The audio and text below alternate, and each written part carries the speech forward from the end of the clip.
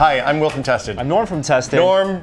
We have the iPad mini. Boy, do I wish I had a giant bucket of eggs, hard-boiled eggs, to not have to eat. Is it because you love eggs so much? Because I hate eggs, and I don't have to eat them because Apple actually did release an iPad mini. So this is uh, Apple's uh, 7-inch tablet. It's actually 7.9 inch screen. It's a 4x3 aspect ratio, as it has been before. It is very, very small compared to previous 10-inch iPads. And what Apple would actually say is that this, they would make the distinction that this is actually not a 7-inch tablet. They want to poo-poo those 16 by 9 7-inch tablets. This is a 4x3 7.9-inch tablet, which grants you maybe 30, 35% more real screen um, real estate? It's 22 square inches for the 7-inch tablets versus 29.6 square inches for the uh, 4x3 tablet. Uh, so let's talk about hardware a little bit. There's a couple of things that are interesting about this. It's kind of, it's almost like an iPad 2 crammed into a smaller case. Yeah. It's an A5 processor, the same that was in the iPad 2 and the iPhone, iPhone 4S. 4S.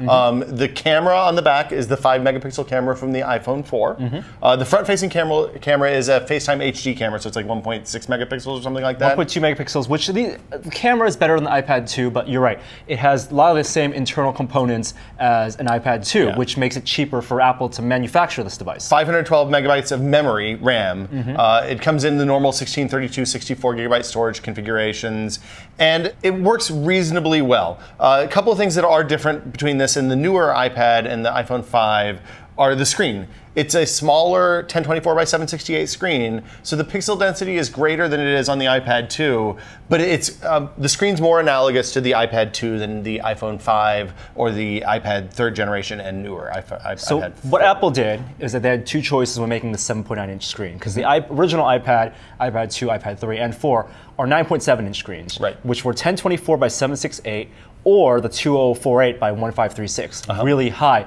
retina resolution. Right. They couldn't cram that really high retina resolution into a 7.9 inch screen and still make it affordable. That, that, doesn't exist. That screen size and resolution doesn't really exist right it doesn't really exist right now. So what they did is actually they figured out that with the original iPhone 3G and 3GS screen, that if you stretch it out to 7.9, you're saying the pixel density of those original It's the exact same pixel density. So okay. if you have an iPhone 3G or an iPhone 3GS, or even an original iPhone, look at that, the pixels actually look very similar. Obviously, it's a little better panel, the reflectance is better than on those old phones, mm -hmm. the mm-hmm. color is better, but it's not as nice as something like an iPad 3, iPad yeah. 4, or the iPhone 4. I mean, when you look at the 5. newer when you look at the newer panels that have the full NTSC gamut, so that means that they show all of the the colors described by this by this really super esoteric thing.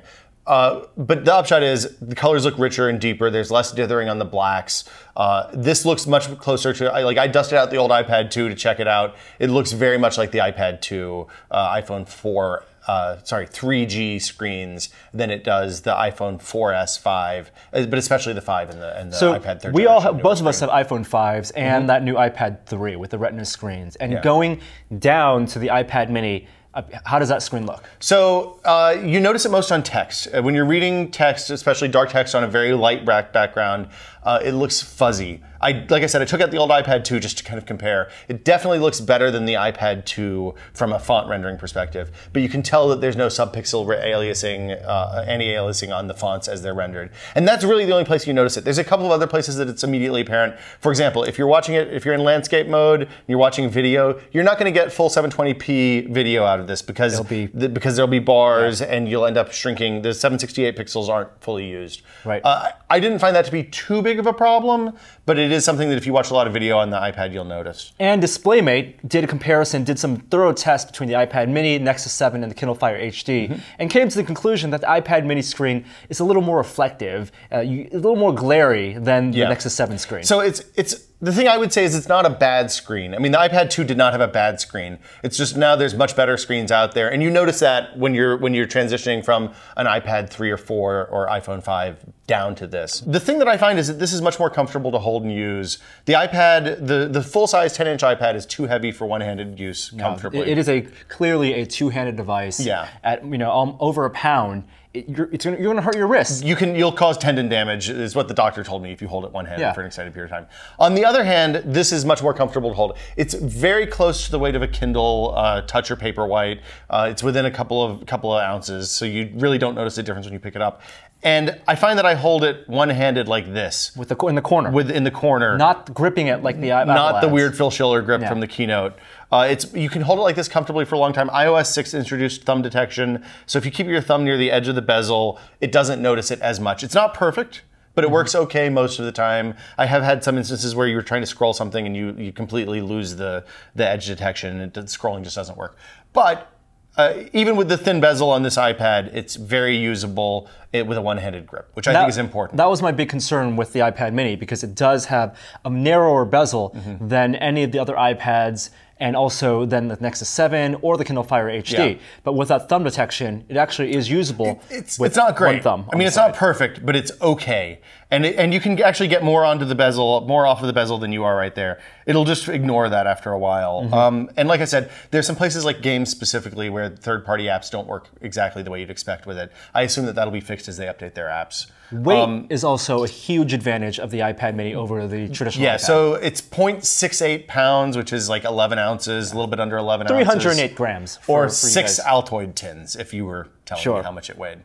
I find that it's very easy to use in bed, and the backlight goes dim enough so that you can use it in a dark room and won't blind, blind your spouse or significant other. In terms of thickness, uh, it is thinner than the Nexus 7. It actually fits right in between the thickness of a new iPhone 5 Yeah. and the super ultra thin iPod Touch. So the thing I would say is that, like, if you're looking into the future and you want to see what Apple's going to make two years from now, care about the thickness, it's thin enough that you're not going to notice. Yeah. The same thing as the Nexus 7 and the I- iPad 3 and the iPad 4 and everything. All of this stuff is so thin, it doesn't matter. If you get much thinner, it's going to start feeling flimsy and scary. So uh, there's obviously a big battery in here, Mm-hmm. and the battery life on iOS devices is typically very impressive, especially with standby. Yeah. So uh, we haven't had it long enough to do standby. I haven't not used it for a week to see how long it takes to run down. Uh, but on normal use, like the kind of get up in the morning, check your email, maybe read a little bit of your book, uh, play a game of letterpress, then leave it for the day, and then come back and use it again in the evening. It seems like two or three days of use in, in a kind of real world scenario. When I was using the hell out of it for four or five hours, I got five, six hours of normal, uh, of full use uh, Wi-Fi and everything uh, without having to charge, and was only down to maybe 30%, 28% on the battery. Because what I'm finding is with the Nexus 7, which I'm using for my 7-inch tablet, Mm-hmm. Even if I don't use it, I have to charge it every other day. Seems like every third day is, Yeah. is where my Nexus 7 ends up. Uh, I, I think this is comparable. I mean, I think the battery life is good enough that it doesn't matter. I mean, that's the that's the it's the Kindle situation that applies here. Uh, I mean, you're not going to get two weeks of use on this or a month of use on this as you will with the newer Kindles. But it's also a full color screen with the backlight and all that, so I kind of wouldn't expect that. Now we have the Wi-Fi version. There is Mm-hmm. an LTE version. It's coming later this month. Mm-hmm. Uh, basically, the pricing on these is the same as it's always been with iPads. The 16 gigabyte version starts at $330. Mm-hmm. Uh, it's $100 for each storage upgrade. So $100 to go from 16 to 32, and then another $100 to go from 32 to 64. And if you want to sell your modem, it's th- it's $130 on top of that. on AT&T or Verizon. Um, Or Sprint. They're doing a Sprint. Sprint version as Yes. well. So the price range is $330 all the way up to max out 64 gig with LTE, Yeah. $660. Yeah, so uh, price is, a, is an interesting place. They're 130 bucks or 130 bucks more than the cheap Nexus 7 at this Yeah. point, which is a pretty big gap.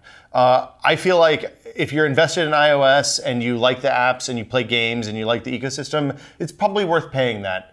Um, it's it's this is much more of a consumption device than say a 10-inch iPad. I, I can't imagine hooking a keyboard up to this and using it to type and, and actually write stuff. So it's a little harder to justify the more expensive cost. Because it really is an iPad 2, which Apple still sells. It is an iPad for 2. $400. It is an iPad 2 shrunk down and $70 cheaper Yeah. at 330 I think it's a good place for someone who owns maybe an iPod Touch and wants to go to a tablet and doesn't have the full-size iPad, their first iOS tablet. Uh, but if you only want to spend 200 to $250, the Nexus 7 right now is still a great buy. So if you want something to play Netflix movies and to watch video and stuff on, definitely go with the Nexus 7, go with the Kindle Fire, whatever. Um, if this is for people who are invested in iOS, maybe like their iPad but think it's too heavy, want to get rid of that, I would say that there will probably be a lot of iPad 3s for sale this holiday. Yeah. So you are switching over to the iPad Mini. I haven't completely decided yet, but I think I'm probably going to. The question for me is do I keep the Kindle Paperwhite and the iPad 3 and use them both for their own things, or do I just get rid of both of those and only carry one thing?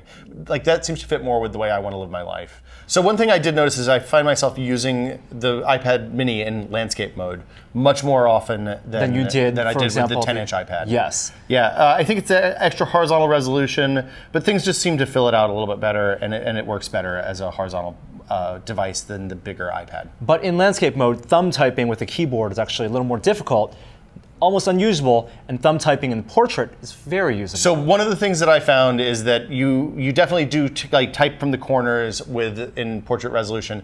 In landscape, it's much more of a kind of hunt and peck. There's no uh, analog to touch typing like you can with the 10-inch iPad. Uh, when you're in landscape mode, um, we should talk about accessories a little bit. Though. oh yes, there are accessories. Yeah. New, new smart cover. So there's a new smart cover. I got the blue one. Uh, they're all polyurethane this time. There's no leather options. So with the iPad, the the full size iPad, you could get a leather option.